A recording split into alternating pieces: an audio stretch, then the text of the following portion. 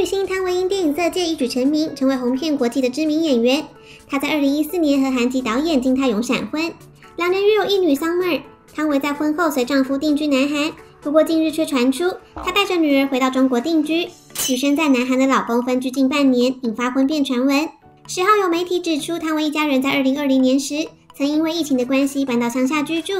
婚后鲜少露面的汤唯，从去年下半年开始频繁回归，积极现身中国多场活动。并在某次采访中提到，现在就是要实实的在中国还是然后好好的享受。访谈过程中简单分享女儿和生活，甚至透露要带女儿回北京定居，对老公则是只字未提。当时就已被陆媒揣测婚姻亮红灯，而去年十月生日晒出的照片中，身旁也完全不见金泰勇，引发外界对他婚姻揣测。